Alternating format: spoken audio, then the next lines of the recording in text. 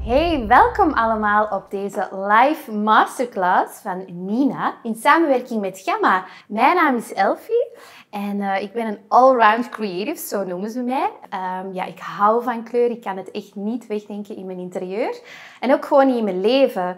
Um, ik ben auteur van uh, zeven boeken ondertussen en ik hou echt van upcyclen. En daar heb je natuurlijk ook af en toe eens een likje verf voor nodig.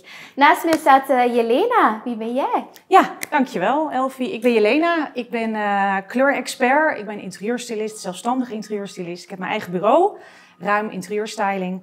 En vanuit mijn uh, zelfstandige positie uh, ben ik al sinds uh, 2008 verbonden aan Histor als kleurexpert. Dus ook kleur maakt bij mij een heel belangrijk deel van mijn leven uit. Dus ik, ik hou ook van kleur. Dan staan we hier heel goed op onze ja, plaats. Precies. En ja. ja, vandaag gaan we jullie tips en tricks meegeven. Hè? Hoe je kleur kan kiezen in jouw interieur.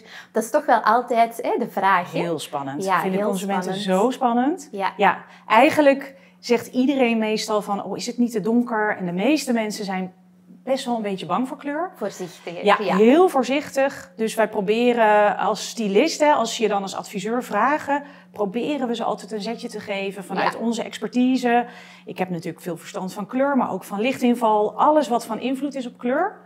En um, dan help ik die consument, die klant wel uh, richting wat kleur in het interieur. Okay. Wel, laten we beginnen misschien bij de basis, want ik ben net verhuisd. Ah, um, leuk. en ik heb eigenlijk voor het eerst gekozen voor uh, witte muren, omdat ik echt wil gaan spelen met kleuraccenten, ja, accessoires in mijn interieur zelf. Dus echt hè, bijvoorbeeld zetel, uh, leuke vaasjes. Ja. Natuurlijk, ik heb wel uh, gekozen voor niet wit-wit. Uh, maar er bestaan zoveel tinten. Heb jij daar misschien een, ja, een, een tip voor? Ja, er zijn inderdaad heel veel kleuren wit. En dat is juist wat een kleurplan zo, zo compleet kan maken, zo Ja. af kan maken. En dat is ook wat ik mijn, uh, uh, de consument meestal meegeef. Kies nou niet voor die RAL 9010, de meest gebruikte wittint. Want dat, is, dat is echt wit-wit. Er zit een puntje geel in, maar dat is wel behoorlijk wit. Maar je kan al die gekleurde witten heel goed afstemmen op de kleuren die je verder nog in het interieur toepast. Um, we zijn zoveel bezig met kijken op schermpjes, onze telefoontjes, iPads, laptops, televisies. En um, dat is heel vermoeiend voor onze ogen. Ja. Dus dan is het heel prettig om juist misschien een meer off-white of een hele lichte grijs toe te passen. Die verzachte contrasten. Oh, ja, ja. En dat is wat rustiger voor ons. Beetje warmer het, uh, ook misschien. Ja, hè? precies. Nou, en dan kun je heel goed, zoals jij het doet, met accessoires. Kun je de boel een beetje ophalen. Ja, dat heel is, dankbaar. dat is uiteindelijk ook waarom ik nu witte muren heb gekozen voor echt die rust. Hè. Mijn huis is mijn ankerpunt, Ja. daar wil ik echt tot Ja. rust komen. Ja. Maar dan ja, ik kan me opnieuw geen leven zonder kleur inbeelden. Dus uh, kleur is gewoon energie. Voor mij toch, alleszins. Dat zorgt voor optimisme, voor inderdaad rust in de slaapkamer. Dus hoe gaan we nu eigenlijk kleuren gaan kiezen? Want ik kan me wel inbeelden, ik ken een beetje van feng shui. ik pas me daar zo wat uh, op toe. Uh, maar je hebt kleuren die wel goed zijn hè, in de slaapkamer of, of in je living space. Hoe ga jij dan aan de slag met die kleurenkeuze, zeg maar?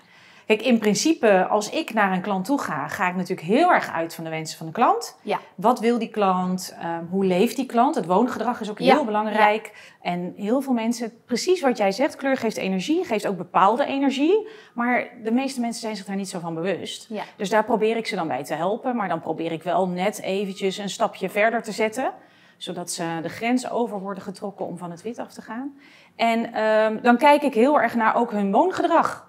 He, zijn ze vaak uh, overdag thuis of zijn Ja. ze juist avonds thuis? Uh, wat, wat, waar werken ze? Doen ze dat in de woonkamer of misschien in de slaapkamer? Um, Oranje-geel geeft heel veel energie. Ja. Grijs zorgt juist voor balans, stimuleert het intellect. Dus ik, heb ooit, je... uh, ik heb ooit een uh, knalgele hal gehad. Oh, ik als ik thuis kwam, wilde ik echt zo ja, het, het zon. het optimisme, Ja. de zon echt ja. in mijn huis. Dus, dat was mijn kleurenaccent. Ja. ja, ik vind geel echt een hele dankbare kleur Ja. in het interieur. De meeste mensen zeggen, oh nee, geel, daar hou ik niet zo van. Maar zodra je al maar een accessoire in geel hebt, haal je echt het zonnetje in Ja. huis. Dat Heerlijk. brengt, dat brengt energie en opgewektheid. Heel dankbaar. Ja. Ja. en we hebben nu, een, of Histor heeft een heel erg fijn concept. Dat is het 60-30-10 principe. Dat ken ik nog niet. Nee, dat is dus het, het kiezen van een kleur voor de consument wordt op die manier eigenlijk gemakkelijker gemaakt. En dat gaat uit van ehm, het toepassen van kleur in 60% in 30% en in 10%. En omdat je verschillende hoeveelheden in de kleur hebt, is de balans altijd aanwezig. Oké. En wat je dan doet, is je bestudeert de ruimte waar de kleur wordt toegepast. En ehm, je gaat ook eens kijken naar de bestaande elementen die er zijn. Ja. Misschien staat er een hele grote bank, of misschien eh, moet de vloer blijven zoals die is. En dan ga je kijken naar, oké, welke kleur wil ik dan als mijn basiskleur? De Ja. 60% kleur. Ja. En die pas je toe op de plafonds, op lange wanden. En dan, ehm, nou, laten we even uitgaan van een rustig interieur. Dan kies je misschien een hele mooie grijze, zo'n zo'n off-white, voor de basis, voor Ja. 60%. En dan kun je daarna de 30% gaan toepassen. En de 30% is dan een nuancekleur. Dus die komt op meubelen, eh, op kortere muurtjes. Oké. Hè, dan kun je Ja. daar heel mooi, en misschien eh, doe je dat in een wat warmere kleur. Zo'n hele mooie eh briek. Hè, daar kan je heel mooie steenroden voor toepassen. Die zijn Is dat het nog woord wel... briek? Want Ja, misschien voor de kijkers die het niet kennen. Nee, heel goed voor jou. Ja. Ja. briek is een beetje verwant aan de baksteen. Oké. Dat is, ja, eh, daar dat is de het kleur briek. Oké, ja, leuk. en die is vrij populair. En die is ook niet zo in your face. Dus dat is ook wel heel prettig om bij die neutrale toe te passen. En dat doe je dan in 30%. En dan heb je nog die 10% over. Ja. Daarmee kan je knallen. Dat is je Oh, accentkleurtje. Ja. En dan kan je zeggen, ik pak een pittig accent of juist een wat donkerdere. En daarmee kun je je accessoires, heel goed Ja. wat jij net zei, kussens, kandelaren. eh, maar misschien ook wel eh, deurposten of plinten. Ja. Hè, dan kun je je 10% en daarmee ga je knallen. Dus lekker donker of lekker fel.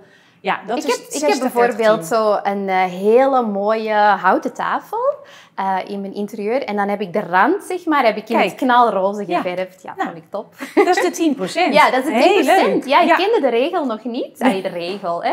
We houden ons eigenlijk niet echt aan Nee, regeltjes. nee, nee, Hè. nee. We doen waar we ons goed bij voelen. Maar het kan wel een, eh, een hulpsteuntje zijn. Voor de consument, als je nog niet een, een Ja. stylist wil uitnodigen, kan het een heel fijn hulpmiddel Ja. zijn. Ja. of voor een snel advies.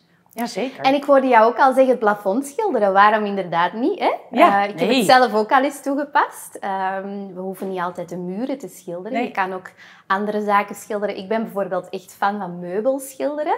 Eh, en ik, ik zag ook dat het eh, lakverf was. Of Ja. alleszins, Ja. je kan er meubel met, met Alles, goudverf. ja. Ja. Het eh Histor My Color, dat is een, echt een heel mooie, mooi verfproduct. Is ook eh product van het jaar van 2022. Heeft dus die prijs gewonnen. Het is een hele mooie matte verf. Ja. Met een hele goede dekking. In heel veel mooie tinten te verkrijgen. Maar dus ook te mengen in zijdeglanslak, in matte lak, in hoogglanslak. Je kan het op eh, diverse Ja. muren toepassen. Dus zo kun je heel erg goed spelen met structuren. Ja. En je meubels verven. Ja. Ja, je zei al bijna kleur van het jaar. Ja, ik Maar zei- die gaan we toch nog heel eventjes... Ik versprak eh, me.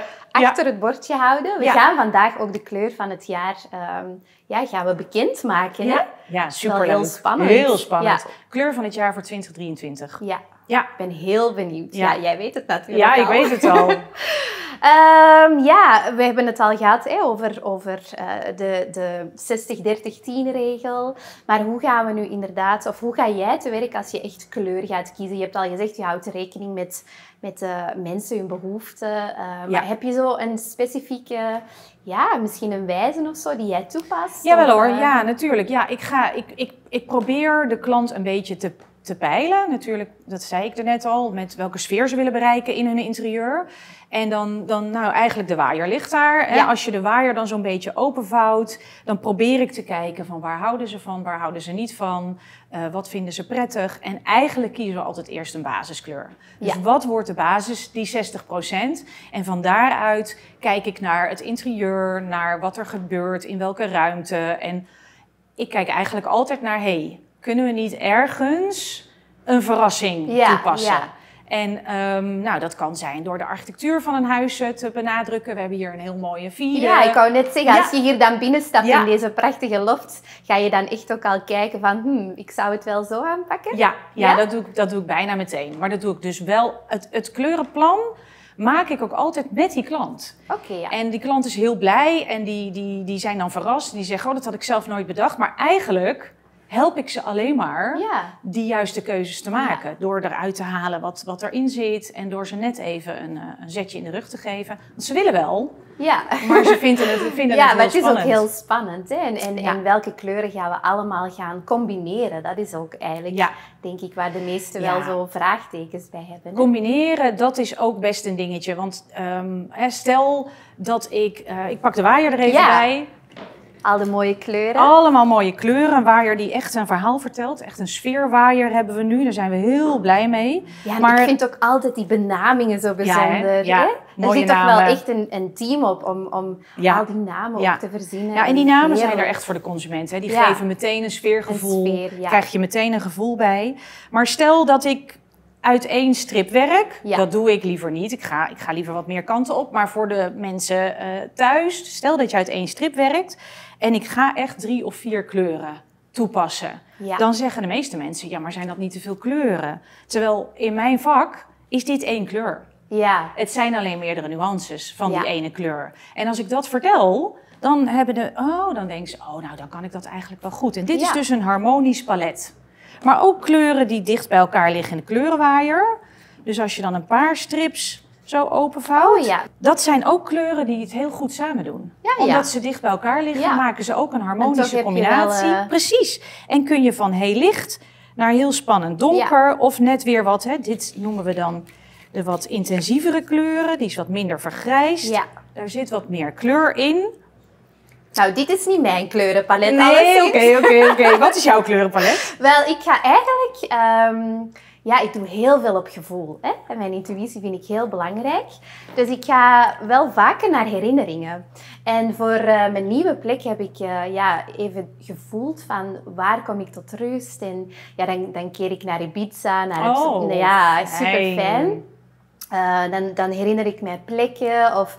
Wat ik ook bijvoorbeeld eh, heel fijn vind, is ehm, ja, heel simpele dingen. Bijvoorbeeld, ik ben fan van pistache-ijs. Oh, Ja, dus pista ja, ja, toch? En ehm, voor mij is vreugde heel belangrijk. Echt Ja. op, op die energie gaan inspelen. En, en eh, al mijn kamers zijn eigenlijk zo echt op gevoel gekozen naar Ja. een herinnering meer. Dat is dan weer mijn manier.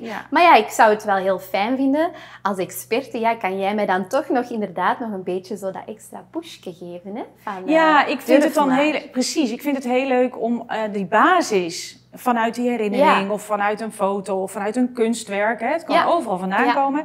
maar dan net even een contrastje op te zoeken. Ja. Want de contrastkleur van groen is rood... Nou, dan kunnen we richting een briek of zo. En dan net even... Ik Ja. hou ervan om net even een puntje spanning aan Ja, te ik brengen. zal jou uitnodigen bij thuis hè, binnenkort. Ja, dat is leuk. leuk. Ja, super fijn. Ja, ik, eh, we, zijn, eh, ja, we hebben al van alles gedeeld. Hè. We hebben inderdaad de, de, de kleuren. Wat zijn zoal nu de kleuren die heel vaak gekozen worden? Ja. Of is er ook een eh, verschil? Want ik hoor je, je woont in Nederland. Ja, ik woon in ja, Nederland. is er een, Ja. merk je een verschil ook? eh, Nederlanders, België? Ik weet het niet. Ehm, nou, ik, dit ken ik niet heel erg goed, maar ik denk dat, dat ze in België iets voorzichtiger zijn. Ja. Maar je merkt het wel ook binnen de provincies in Nederland. Ik woon nu in Brabant, maar ik heb in Den Haag gewoond. Ja. En daar zijn mensen die durven meer. Ja, en in, in Brabant zijn ze voorzichtiger. wat, eh, Ja. expressie. en- Ja, ja. precies. Dus dat, eh, dat, dat merk ik echt, dat verschil. En wat we nu, eh, kijk, de, de kleur van het jaar van, 20, eh, eh, één- of van, eh, van 2022, Ja, van dit van jaar. afgelopen jaar. Ja, van afgelopen jaar is eh, de mooie olive sprig. Dat is een mooie prachtige zacht groen. kleur. En groen is wel echt een kleur die heel veel mensen blijven toepassen. Ja, Het ik denk een, ook eh, dat het, dat het niet onlogisch is, hè? Nee. want heel veel mensen willen ook veel meer betrekking bij de natuur. Precies. Precies. we zoeken die rust ook Ja. op en dan is dit de kleur die daar in lijn Ja. ligt. Hè? Het is letterlijk en figuurlijk heel belangrijk voor Natuur ons. in huis halen. Ja, en het klimaat. We moeten opletten Ja. op de aarde, we moeten duurzaam leven. En het is een kleur die voor balans zorgt en ook redelijk neutraal. En roze.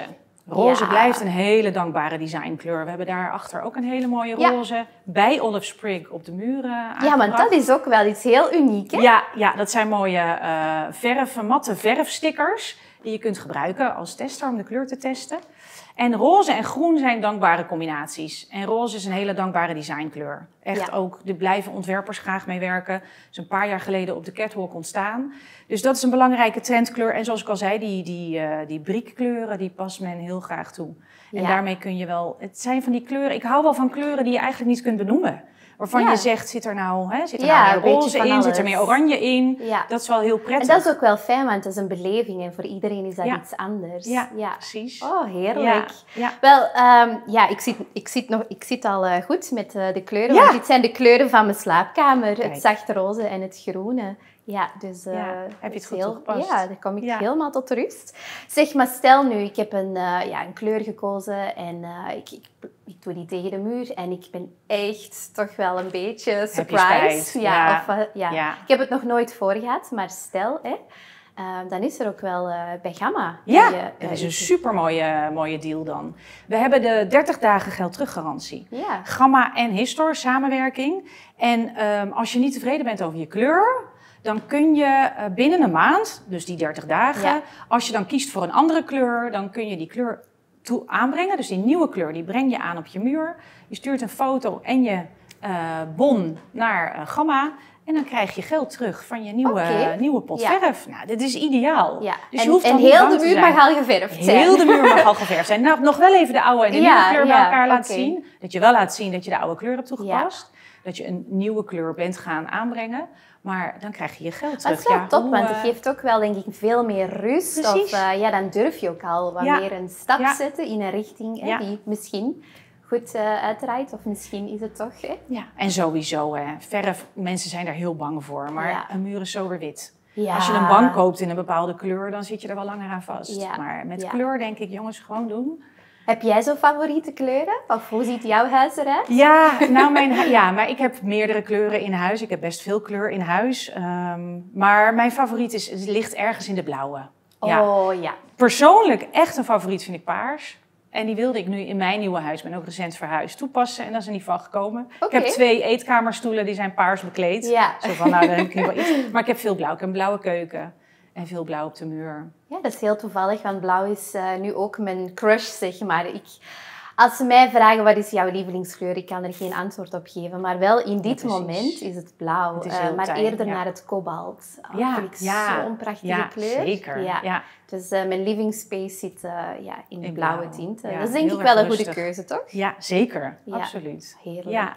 Ja. Oké, top. Wel, eh, ja, ehm, zullen we misschien ook al eens kijken naar de trendkleur? Ja, Of, eh, ja, ja, ja. ja. Nou, en dat is wel een leuke brug. We hadden het over die blauwe. Ja, oké. Ehm, de Nu trendkleur voor 2023 is namelijk ook weer zo'n kleur die wat moeilijker te benoemen is. Oké. Is het een eh, blauw? Is het een groen? En nou ga ik al de kant op van de Ja. onthulling. Maar eigenlijk heeft Histor ook gezegd, het maakt niet uit hoe je hem noemt. Ehm, hij heeft een hele goede eh, uitstraling en vibe. Zal ik hem even laten zien? Ja, Want ja. hij staat hier. Het voelt al als een heel authentieke kleur. Ja, het is een hele mooie, warme kleur.